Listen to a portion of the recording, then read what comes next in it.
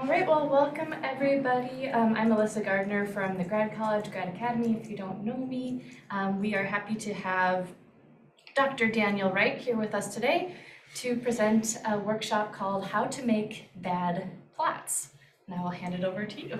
Okay, so I, I should point out, and I shouldn't need to point out, but when I gave a similar talk to a few different government things, this is ironic, you know. But for here, we're gonna do bad plots. So here, this is clearly a wonderful way to, to present a title. This is a plot that shows all the technology that we're unable to use, or at least most of it and adding in all the sort of junk that you see people putting on some of the title pages. Doing things also like having really long titles in colors that don't match up in a font that's bad. Having a background that this isn't an actual photo. We, we live here, we know you don't get these angles on, on that sort of thing. And it's not UNLV. We have a very pretty campus. I could have included that, but again, that would have just gotten in the way a bit. Um, you'll see often in talks, people have been to talks where you get tons of information here in really little things. Uh, Would you like to use your clicker? Yeah, let's use my clicker. Okay, sorry about that, everyone. Worked when we test it before. Yeah, so and this is one of the problems when you have a lot of this extra junk in here. Um, It can actually cause problems with the setups for things. So I've, will often watch other people's talks, I haven't done this for, for a long time, but I'll go to their lectures. And when PowerPoint was starting, somebody who was a little bit nervous gave his talk, and the way he had his talk set up, it was red with a little bit of black in the corner, this nice template giving it in a different room from this computer, and the block basically took over the whole thing, and he was so nervous, he just kind of kept going. And I'm sitting in the back just thinking, John, John, John, just stop, turn the template off, go and, you know, but I think the nerves and stuff like that got to him. I think it's something to do with the, um, the- the Zoom. So see if you can just flick between it and get to a. There we go. Okay, I'm going to skip all the sound things. Um, so, so we'll get this. Can, can you also get rid of that top screen, which is one of the options there? But it's a good thing to have that top screen there. If you've noticed, you do get, most of the setup things have something at the top, and if you're doing stuff in Zoom, you have all the people on one side. So you want to take that into account if you were planning on doing a good plot and a good presentation. But again, we don't want to do good presentations, do we? We're not here to learn how to do a good presentation. So you'd avoid doing that. So you do things like have this really long title. I took it out of that silly font and stuff like that, so at least you, you can read it. You'd want to start things by, here we go. Computers are too fast. So you, why would you start a talk with a talk that? Or a paper that says a study that, and then go into that? People know that. So this adds extra words for them to read, so it's particularly annoying. So again, this is why I've done it here. You can do things like, I'm gonna be very careful with my finger. You can change it to something short, again, if you want to be nice to people. You'd want to sit there and write in very small things, few, few little gadgets to play with. Um, and you see this, when people write down, oh, we're required to put all this stuff in there. Well, people can't see it, it's worthless. So don't, don't try to do that with it. Um, you can have things that are misspelled. You can have things like the psycho psycho that showed up somewhere in there. So these are things that when you're just doing the title page, you can convey to your audience. You really don't care about them learning information from your talk. If you add all, all this extra junk in there, as opposed to something like this, I actually kind of, for me, it's nice having all these screens around because I, I, I don't need to lean back and look at things. It can look like I have everything memorized completely. You can have something like this which conveys it really easily and really rapidly to everybody. Okay, the handout that you've got, here's another thing where technology interferes with people. I had spent a long time trying to get this rainbow writing for the title to show, and it was, I'm, the code I'm writing this in took a couple of pages to write that in. It caused my Adobe to crash. It caused uh, they tried a few printers, weren't able to get it to print off and caused Facebook to crash this morning. So avoid technology things unless you're really trying to mess up not just people looking at it, but even the entire world and Facebook. Okay, so what we're gonna do, the basic theme of what we're doing, what we're doing today is we're going to concentrate on methods of data display that leave the viewers as, in, as uninformed as they were before seeing the display, or worse, those that induce confusion. So the key phrase there is inducing confusion. This is based on a talk by Howard Wainer. He first did a talk, How to Make Some Bad Plots, not quite phrased that way, but several years ago. when I started lecturing, I thought, let's do that. Let's show some bad plots. And it turned into a whole bad results section. And then PowerPoint just is so wonderful for confusing people and for doing bad lectures. I thought, let's make sure we go and do that also. So I'm going to concentrate on three different modes of miscommunication. So you can miscommunicate with your audience in several different ways. One is numeric. You can show numbers that really don't convey what you want. Sometimes that's choosing the completely wrong numbers. So that's why you take stats classes and you do things like that. We're going to concentrate on a few other ones with that. The words that you choose, you can choose words that really don't help you with that either. And I'm going to spend more of the time on the pictures because um, that's more fun. And you can have a lot more fun trying to confuse people with pictures. And it takes a lot more of your own time to make these horrible plots. And so it means you can spend a whole weekend rather than doing something to benefit, benefit humankind.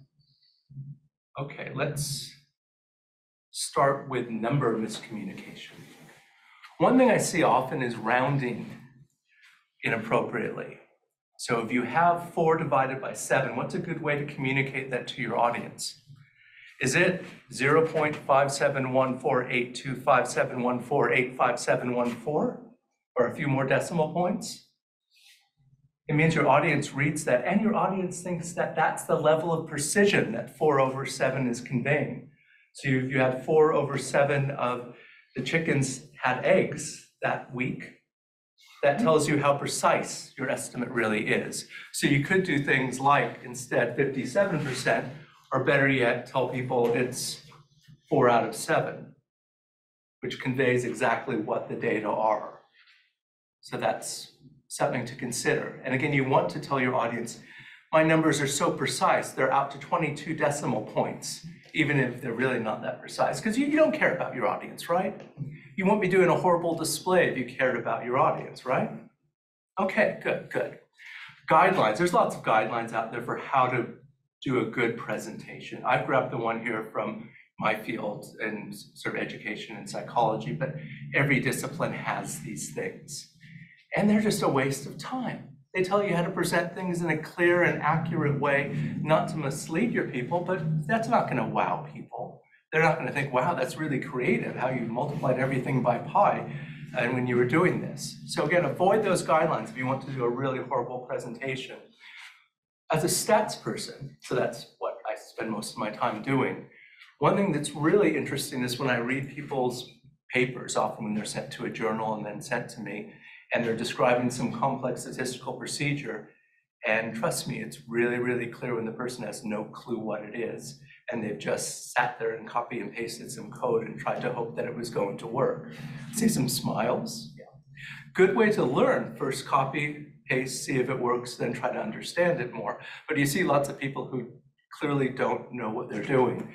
Better yet, at a conference talk, when you, when you present something that's really complex, yeah, there's three people in the back row and their hands go up, you should be afraid.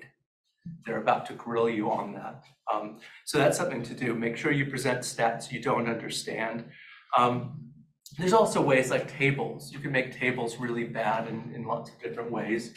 Um, one thing I used to do back in the days where we had overhead transparencies, where you'd go and put these on a projector to show. And people would leave the ones from the previous lecture because they just would leave them. So I would go through and I would grab one before these lectures and I would put one up. And it was often somebody photocopying a table from a book from the 1940s on these. So it was completely unreadable and much worse than this one.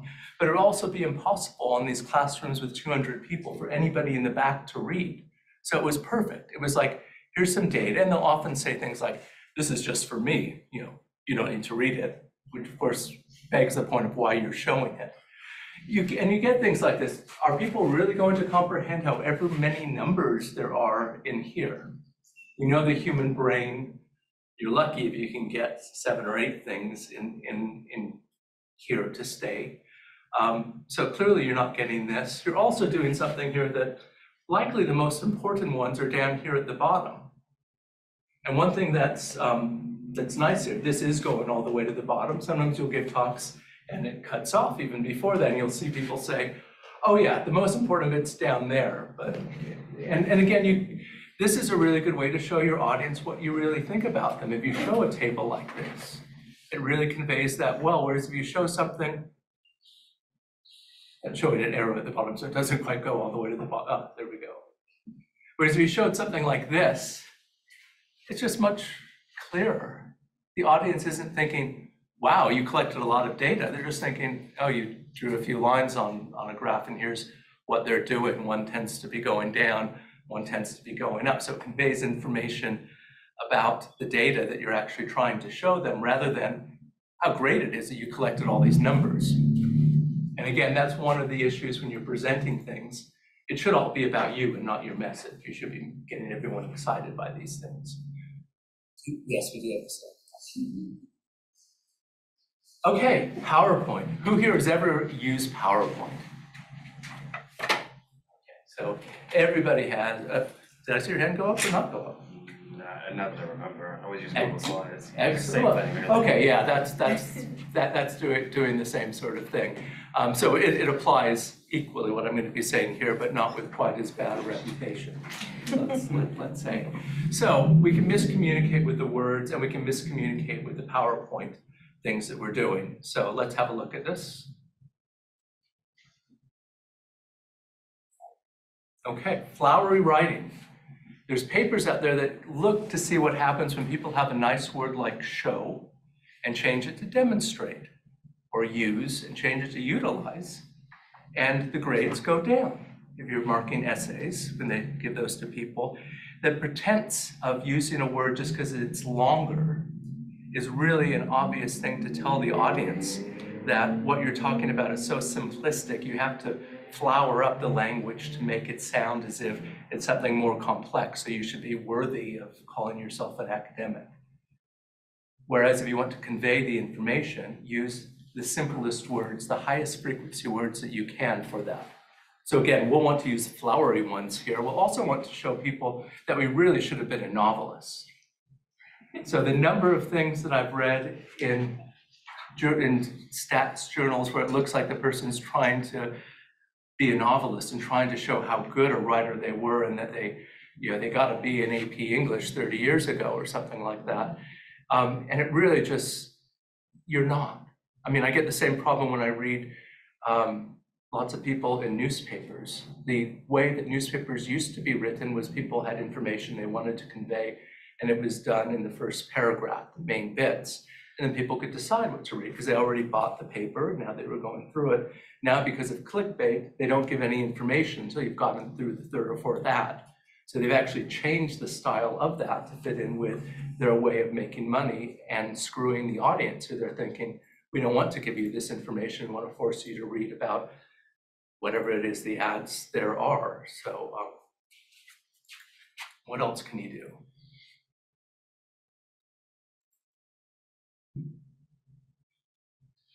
This is always a good one. Being really confident, even though you're not that sure about the accuracy. Confidence is something that we know there's a relationship between confidence and accuracy. For when people are expressing things, people who are wrong are often very confident in it. So it's called the Dunning-Kruger effect. And that shows up in a lot of different things. And you'll see it if you're on social media. You'll see the people arguing some political point saying they're absolutely not wrong. And you know that's a good sign that there's something going wrong in their head for, for them not to be able to consider alternatives. Because certainly for most things people express any opinion on in social media, there's enough different perspectives. So anybody who's really confident is probably very delusional. Um, and again, if you're not, if you're expressing confidence And then those three people in the back row raise their hand and say, didn't you consider any of the research from the nineteen nineties or something like that? Then you're gonna, you know, that, that really shows them that you're just screwing the conference over by getting a free flight and not actually doing any work for it.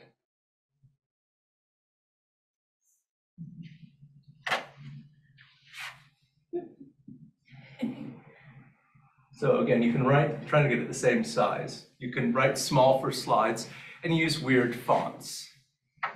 And so I tried a couple of fonts that um, wouldn't show up when I was printing it, so I thought I'd at least try to get something that would show up here. And I think that was the issue with the, with the handout.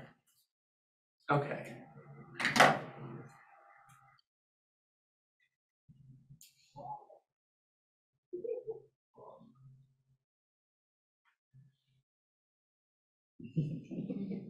Oh, hi, Mom. Yeah, no, no, it's a good. Hi, Mom. Yeah, no, it's, it's, it's a good time to talk. I'm just giving a lecture. Yeah, no, I'm, I'm giving a lecture to, to a bunch of people, but it's fine for, for me to talk here. They don't, they don't need, they don't matter, you know, just doing that. Yeah, yeah, yeah, no, um, yeah, I heard Taylor told, uh, you know, she's now running the NFL. That's good. Okay, great, great, great. I guess I could try to convince them I really don't care about them some way in how I'm doing the presentation. Make a paper, that's a good idea. I'll make a paper airplane just to show how concerned I am with what they're doing. Thanks, Mom. Click. That was my mom. I turned my phone off, one time the phone actually rang.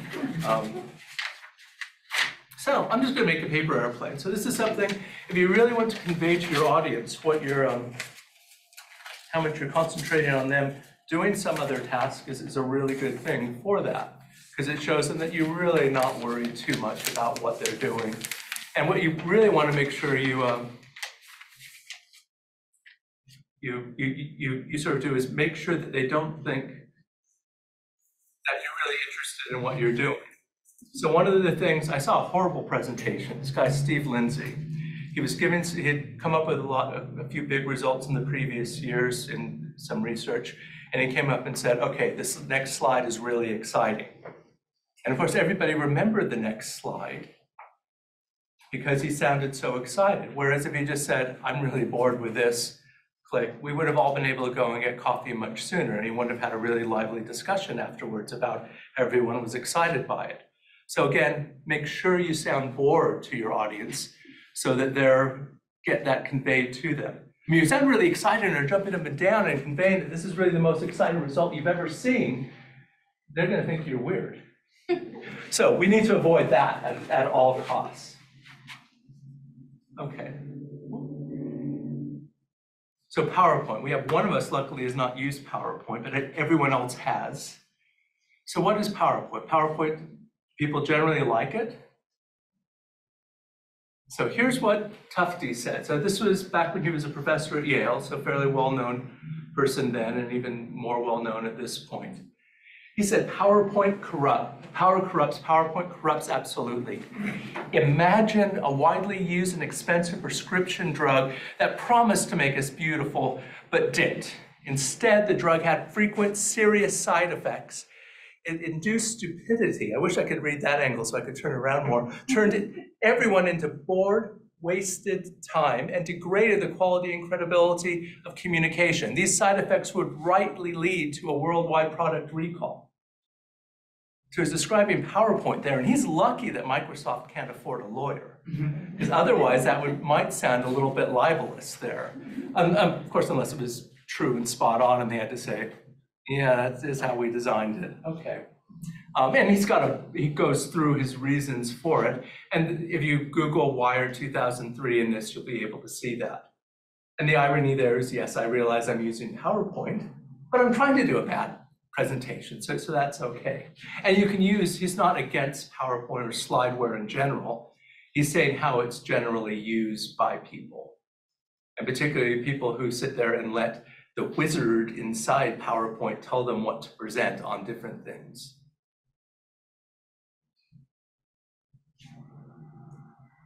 He's really against PowerPoint fluff, which is the junk you add, like the little Yoda that I had on, on the previous ones. So when you add all these extra things that are supposed to convey that you're able to download some cute little meme from the internet.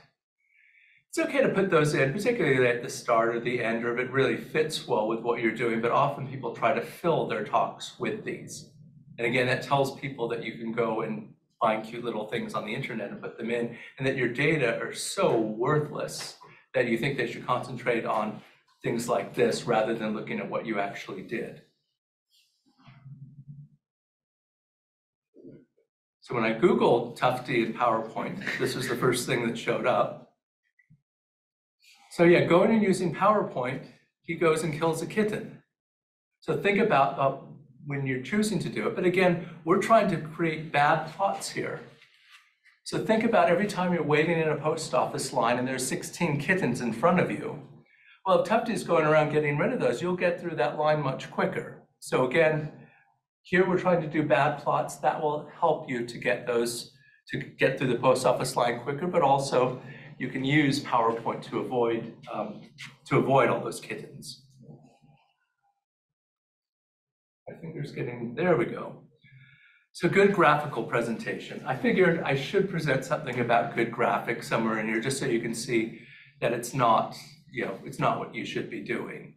So I'm gonna go through just a couple of things where people have talked about some of the things that they've advised people they want to do a good presentation. So again, I said Howard Wainer, some of his work has, has, and Tufte's and a few other people's has inspired my way of trying to think about how to do visual presentations.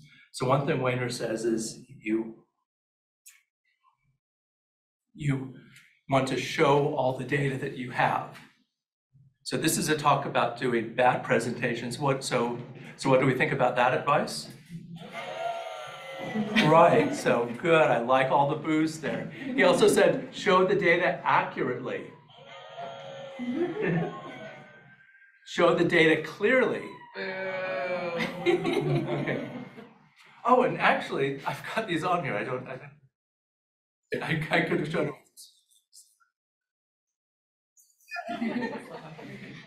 Okay, um, I'm, I'm not gonna, I'm not gonna add those sounds for, for the next few, so, um, you can add them yourselves if you want. Tufte talks about above all, show the data. And again, this is something, don't have the extra junk, show what you want to have. If you have a story that you want to convey with your data, make sure those are key points of the story. Maximize the data to ink ratio. He talks a lot about the data to ink ratio, and you can take that to an extreme that's too far. But basically, if you're using ink, make sure it's conveying data in some way that's useful. So I often give lectures where I show a squid and say, look, if you're using too much ink, you're killing squid out here. It's- that's not how ink's made nowadays, but you can get the point with that. Take out all non-data ink. So all the junk that he has there, that PowerPoint fluff or chart junk, which is a phrase that he's been using for decades now. Erase non-data ink. And again, don't take things too extreme. So when people look at some of his, his rules and take them to an extreme, you get things that are too minimalist to convey everything as clearly as you would want. And finally, revise and edit. And this is true with all forms of communication that you're doing. Um, he'd advise people to look over it, make sure you check all the things several times to make sure you're not saying anything that's wrong or that you have typos and things like that. Again, for what we're doing today, yeah, screw that. Just go and first draft's probably good enough for that, right? Saves less time, you can go get a coffee. Okay, let's look at a few plots. So in my field, one thing that we often talk about in education is how many kids are proficient, almost proficient, or failing on the different standards within education. There's whole issues of that you shouldn't split things into categories like that. Let's assume that splitting into categories makes sense for wh- whatever purpose we're doing. One thing that you want to do when you make your plots is to ignore the way the human visual system works. So here's a plot. What do people think of this one? It's good for this lecture? And why is it good for this lecture? Because it's bad. Good, good. Okay, so it's, it's bad though. Let's, let's see some of the reasons why it's bad. Here's some sciencey bits. So this guy Cleveland and McGill several years ago, but people have replicated this in various ways, showed that humans are pretty good at being able to discriminate which point is higher here. Still pretty good at this one, so you can still say, oh, that one's higher on the left.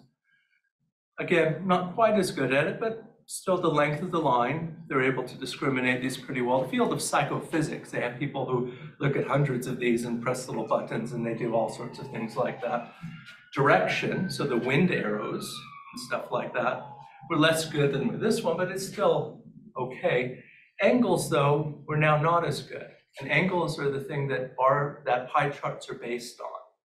So it means that we're not being as confused as we could be. So we could do things that make it worse, but it's still pretty far down the list. So that's why when people make pie charts, so let's get, a, get let's get rid of the sides. When people make pie charts, um, they're not using likely the best thing they could do. So the package I use for most of my analysis is something called R or S. They're the same thing.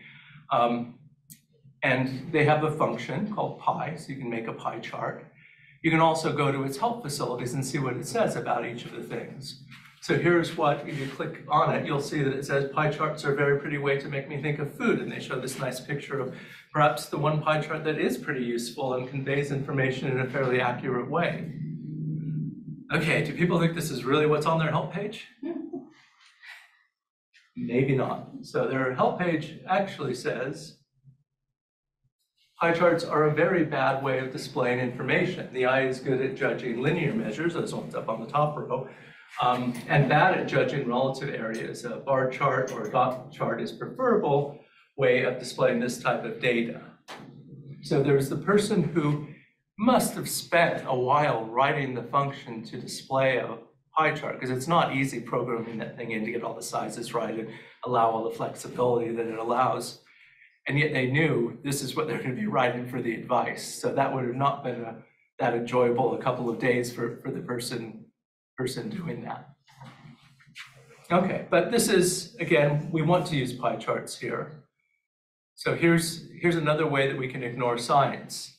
There's lots of web pages out there or apps out there that allow you to see how well people with different types of color blindness can see the colors that you use. And some things, I mentioned are before, there's templates there that allow you to take into account different types of color blindness to make sure people can see them. But again, this plot we like, for one reason, if you take one of the most common types of color blindness, this is what people will see. So, and this is an equity issue. So if you're producing plots that people can't see, or that some people can't see, you're, you, that's a big issue. So again, in some industries and some government organizations, they're really careful on that. In some industries, they want you to print in the company colors on all these things, which igno often ignores this completely. Um, so think about that when you're doing things. Um, also think about a lot of the handouts are photocopied without color. So make sure that people can read them without color also.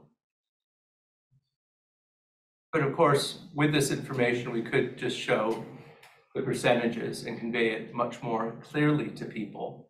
So there's no way anybody could have any of those pie charts known that the failure was rounded to 23%. So we're able to show much more information in a table. Often people produce plots because they think a table doesn't look something scientific enough or something.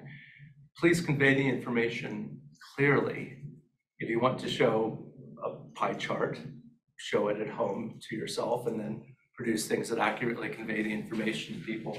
Seldom would you have something where the main point of your talk is this simple, but if it is, that's great. Because then it's a simple message. The typical talk, you should think about eight points that you're going to bring up, a 20 minute talk, three of which people will remember at the end of the talk and one of which they'll remember the next day. So this is what you're wanting people to remember the next day that's good, that's clear. There's also the issue there of making simple data appear complex versus making complex data appear simple. So in the same way in using flowery language or going to the thesaurus to change the words around that you're using. Um, you can have data that are complex that you want to make look simple and convey them and their content to the reader. Or you could have really complex, or you can have really simple data and try to convey it in some sort of, uh, and try to convey it in a much more complex way. So here we have the boss from Dilbert, and he's showing something that should be fairly simple. It's just five numbers there, the five percentages that make up that pie chart. And he's trying to make it sound really, really complex because that's what the boss Boston Dilbert would do. I think we had to pay like fifty dollars to, to, to, to go and use this cartoon in, in the talk. Or you can have something that is really complex and you try to convey it as simply as possible. So these are Feynman diagrams on Richard Feynman's van. So he had his van, he created these diagrams to help explain some aspects of quantum physics. And he then put them on his van because they look pretty good and fairly nice with that. So he's trying to take really complex things and show them in a much simpler way. And to bring all these things together, here is Tufte again. So this is the, the baddie who was saying PowerPoint is evil and we all love PowerPoint. He's now sitting, you know, next to Feynman's van. It's a little degraded here, but it still shows some of the information. I'll put Feynman's original. Oh, yeah, I forgot to give him, him the boo, but I'm glad all of you did, so thank you. Um, his, this is Feynman's original one, so um, that was back in California. You were only allowed six characters for it, so we couldn't stick the U in there.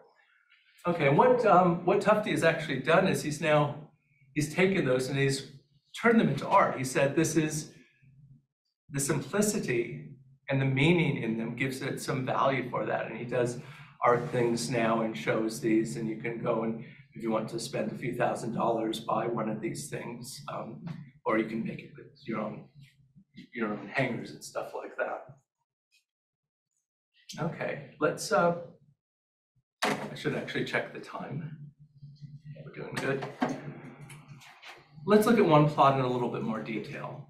So several years ago, I was giving this talk to the Higher Education Academy Psychology Network.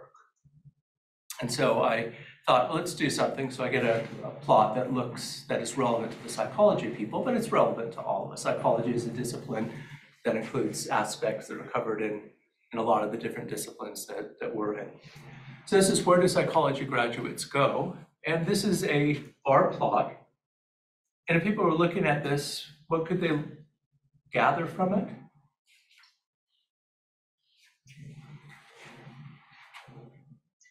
A ranking. Yeah, you get the ranking, you can see how much, how many more people are in marketing than in, in teaching, and that there's more people in in sort of social welfare, and here's the other category. It conveys information pretty clearly, right? So is that good or bad? Mm-hmm. Yeah, it's bad. We want to make it so it's less clear what we're trying to convey. So I took it upon myself to try to make uh, a graph that's more suited for this lecture, which is a bad plot. So here's what I did. How's this look?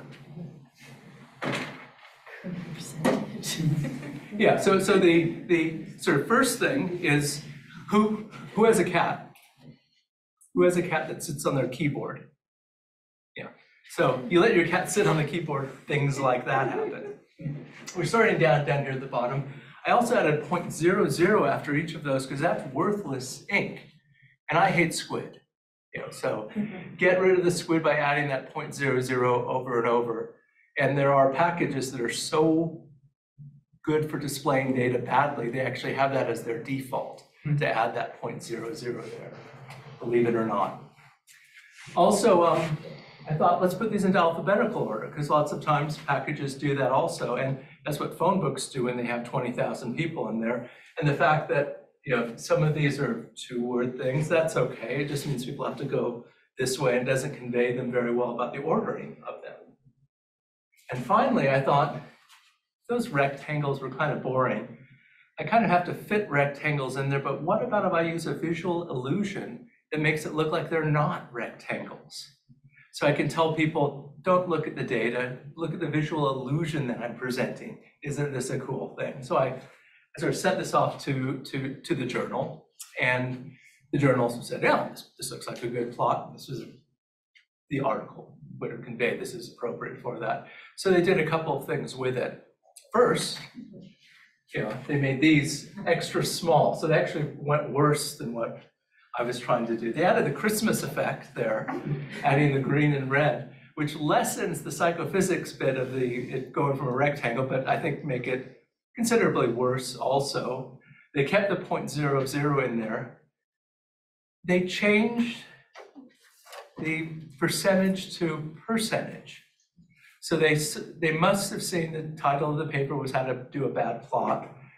They must have seen all these other things were horrible, and yet they thought, oh, we need to correct this thing there. That, that must not be on purpose. That must have been his cat and he, he, he didn't notice.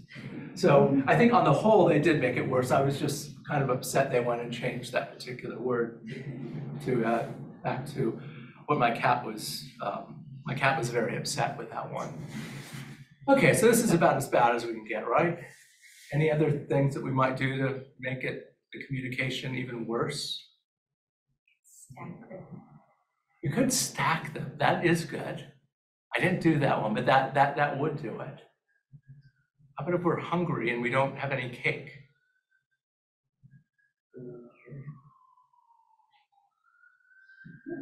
You can make Oh my. God. So this also, I'm using the, uh, I'm using the legend here with these things. Um, And so someone's trying to figure out whether this one matches with that one, this one matches with that one. And so this is a, um, this is wonderful, isn't it? It really, anybody looking at this is not going to be able to understand where psychology graduate students are going. So that is the point that you're wanting to convey, you've made sure they're not going to do this. And this is really useful if you made up all your data and you don't want anybody to check on it.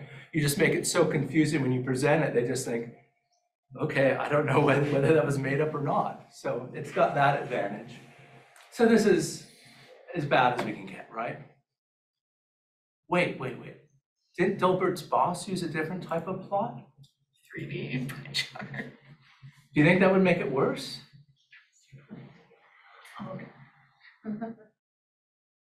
Well, It says here the third, uh, false third dimension.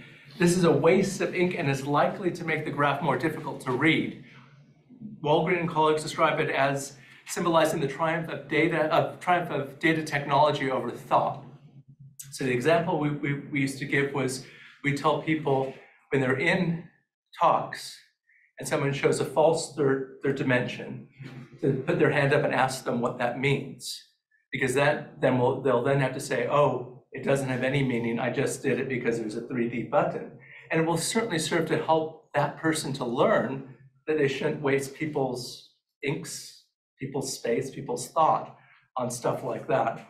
Um, I was giving this talk to my, uh, to a large grad student class, and we had a seminar the next week with somebody coming in for the whole department who showed a 3D plot, and they all stared at me like, come on, Dan, you- you've got to raise your hand.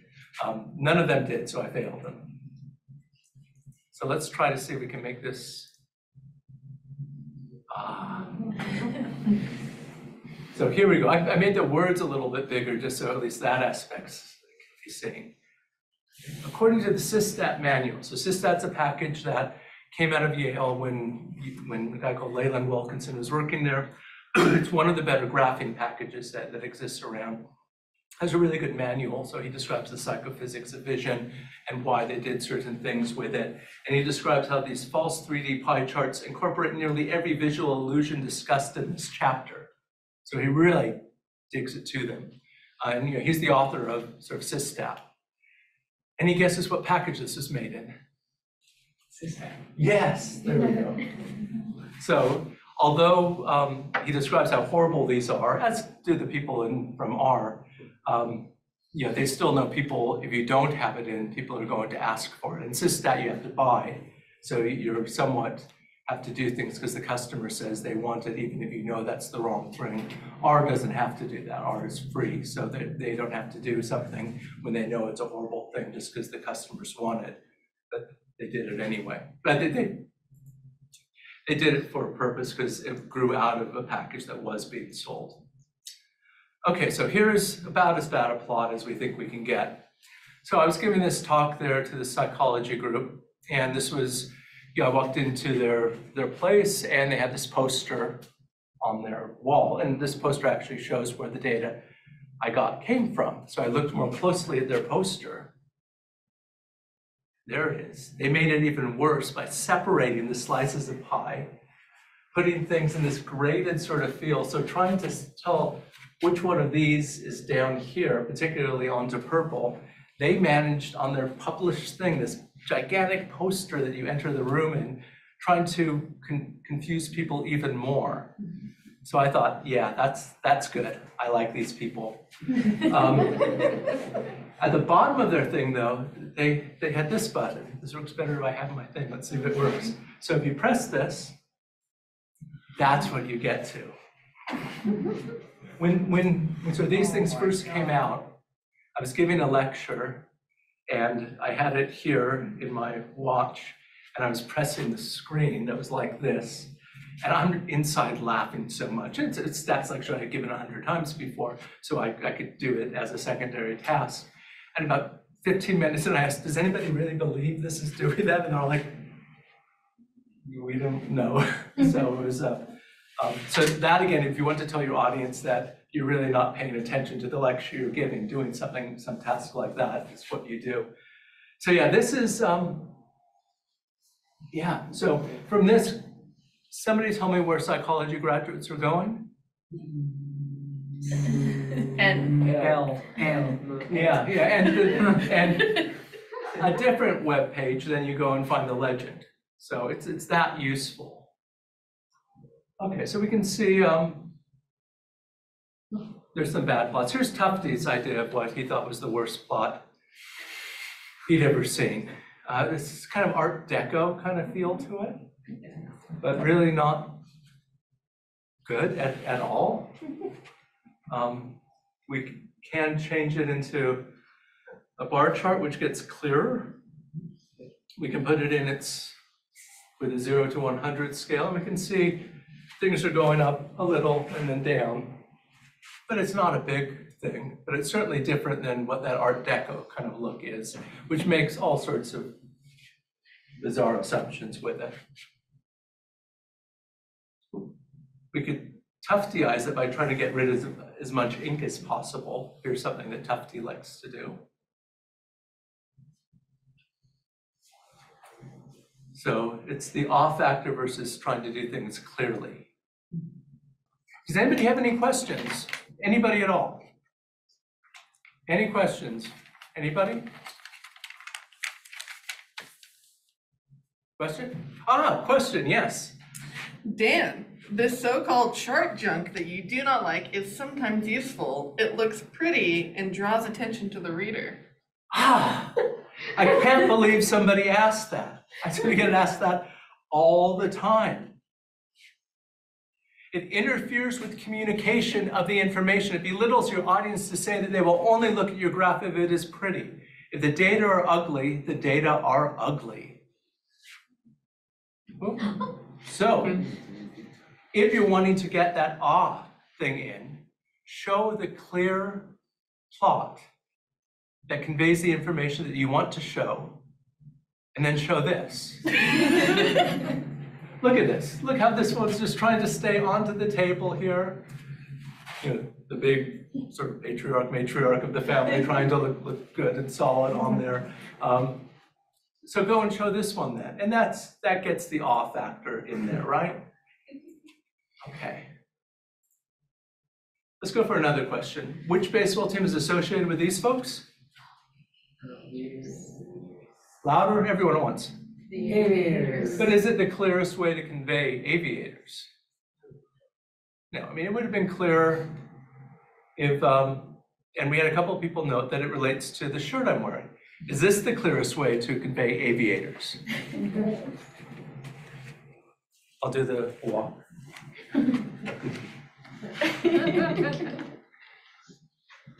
No, it's not the clearest way to convey it. It conveys that I'm a fashion guru But if I wanted to convey aviators, I would wear this shirt. And I will be getting an A shirt of this format in a couple of years' time, so um, I will switch around a bit on that. But this shows it much more, much more clearly. So if I want to do a bad way to tell people the answer to that question, I'd wear this shirt and be very fashionable. If I want to do it clearly, I would show this shirt. Okay, so a few little things, just again, if there's any of you who are getting in a debate with someone who says, oh no, I shouldn't, you should produce good plots, because now you're all thinking, bad plots, bad plots, bad plots. Mm-hmm. So if you get into someone, someone who's suggesting that, you should know what they're gonna bring up, right? So they're gonna bring up that it's really similar things for words and for numbers and for plots. Do it with clarity, do it accurately, and don't add extra junk. So you want to convince them that you do want to add the extra junk, you do want to be unclear, and you do want to make sure you're not accurate, because really, are you that excited about the research you're presenting? Nah, nah, you're not. So just add all this other stuff and let people get on with it. And then the final thing is that pretty doesn't count unless it's for fashion. And again, I, you can all see that I am the fashionable one in this room, right? And all of you can learn from me about nice fashionable things for that. Okay, let's. I think there's, there we go, we get the final sound bit. Okay, are there any questions? People have real questions, not after being, being thrown in an airplane. I don't have any more airplanes to throw out, so I can't. It's not really a question, it's just um, a tip that was passed on to me um, that I found useful with uh, Eagle PowerPoint. Um, Dr. Forster in the chemistry department told me about this time he went to an external conference or something and then he went to pull up his PowerPoint on a different machine to his own. And they had like a different version of PowerPoint and it came in all stretched and all the font had gone weird and it was hanging off the page and it was like a disaster. Um, and he was saying since then he You always mean, makes. it- you mean it was wonderful? Yes, it was great, it was perfect. Um, and he was saying since then he always makes a PDF version, so that instead of being the unprofessional person that's panicking at the front, you can always, it might not be quite as nice, but it's definitely gonna be better than, you know, if you can't open it and PowerPoint being evil, you know, PDF might be the way to go, so it's like have a backup PDF, And, and that's, you can some- always scroll through that, and, yeah. and that's something certainly in the old days, everyone would make sure they would have that, because in the old days, each operating system was a bit different, the versions of PowerPoint, Yeah, 'cause you're doing Mac to. yeah, Macs and yeah. PCs, uh, the Linux type things, but also the versions of it, things would move around, the templates were different, so everything looked different, they've improved things along the way, but yeah, as a PDF, that's a better way to go, and you can, um, some of the bits here, you know, and you will occasionally have it where a sound is useful. There, you can build those things into PDFs, I, not through PowerPoint, but, but you can use, use other methods to do that.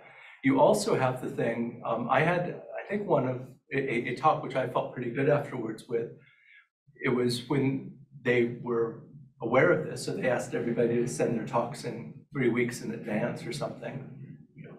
Who, writes their talk three weeks in advance, but, so I, I sort of did, which meant I hadn't looked at my talk for three weeks.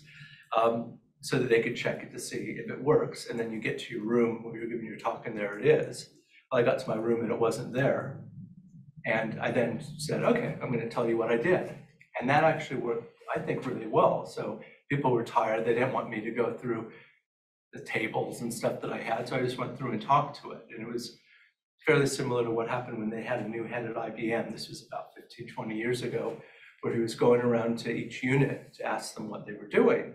And he got to the first one and there were two people doing a presentation because people think it's more efficient somehow to have two people present than one person present.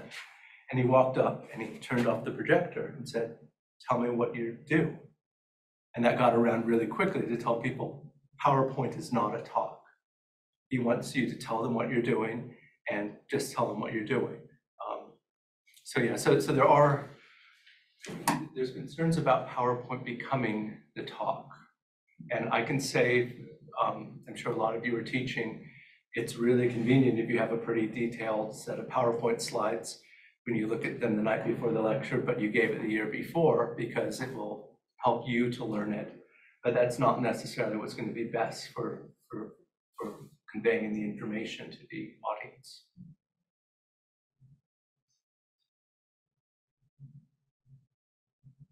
I have a semi-related question. Say you're working in a group of people and you have someone who loves a thesaurus, who loves um, chart junk. What would you suggest would be the best way to introduce? Without being caught. Yes. Yeah, so, so basically, um, yeah. For the thesaurus approach, the Ig Nobel Awards, do people know what Ig Nobel Awards are? So there's the Nobel Prize, explain what the Ig Nobel Awards are? The ones where you go like, how did you get funding to do this? Yeah. So one of the Ig Nobel Awards fairly long ago was the, was the first one where they took, where they just made these words more complicated and did six studies going through it. So, so actually fairly good, good sort of piece of research. And the now, the guy now is one of the bigger names in, in the world of business colleges. I think he's at Berkeley now. And um, he, he went through it and said, here's these things, you know, your students will rate you lower. If you do it as a student, your professors rate you lower, all in all, just going through that.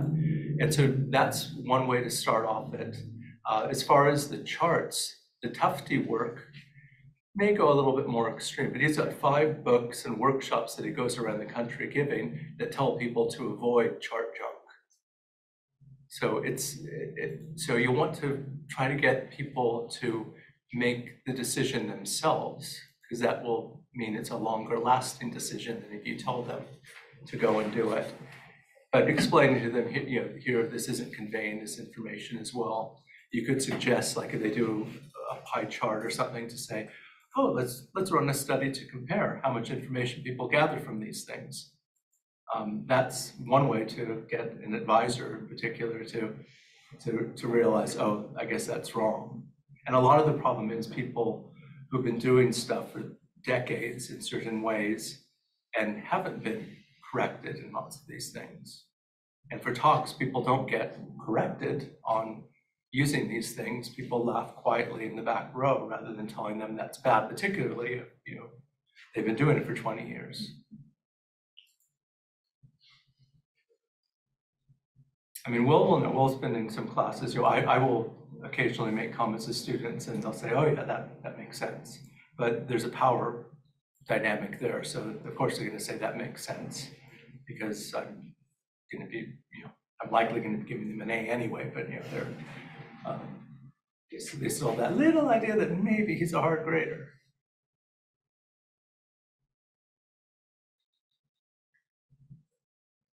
I got a question about uh, that people that are colorblind or colorblind. So in this case, what do you suggest? What colors?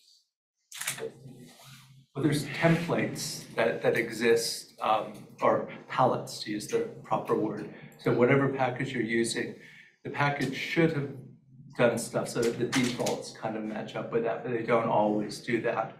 Um, so what you want to do is often doing things like with these apps, just go and write your colorblind check app or something into Google, and you'll get to one, you can stick the things in. And then, you can see which ones it does. There's lots of different types of color blindness. You won't be able to make it good for everyone. But if you have things where at least if it turns to monochrome, that people can still look at it figure out what the things are, that usually works. Um, you really want to avoid too many colors on things. So when I use colors, it's mostly in line plots. And I'll, I'll use the different ones, um, but also make clear that, you know, it's not twenty different colors going up there, um, usually but just making sure that you say, here's this label on this one, so you can do that. I mean, fortunately for, for us, um, you know, other than the main red, green color blind, it's fairly small percentages, so most of the government, the government places that have guidelines on it, it's guidelines, not, not rules, um, they'll tend to focus on red, green color blind, which affects, I think, ten percent of males or so. I think I've heard some advice too, um, like to make it not rely on color alone. So like if you have lines, like three different lines, you can make them different colors, but then also make, make one dash, one velvet, and one solid or something that, so that if somebody, if it gets turned into black and white, for example, then at least there's another way we can tell. And- And instead of a legend way over here, mm-hmm. having an arrow pointing to that saying, this is the, you know, Jets, this is the Sharks, or something like that.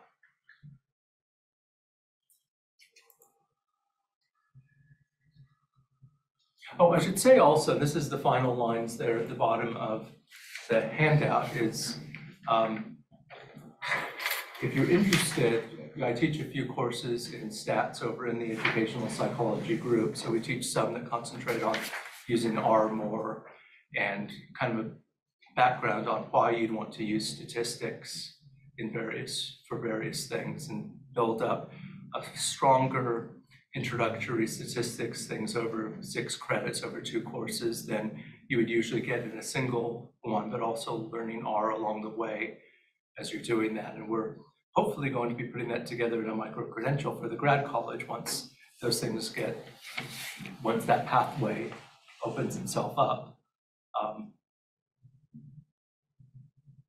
And you've taken those courses, so if people have questions that they don't want to ask me about, they can ask, they can ask Wilson. Okay.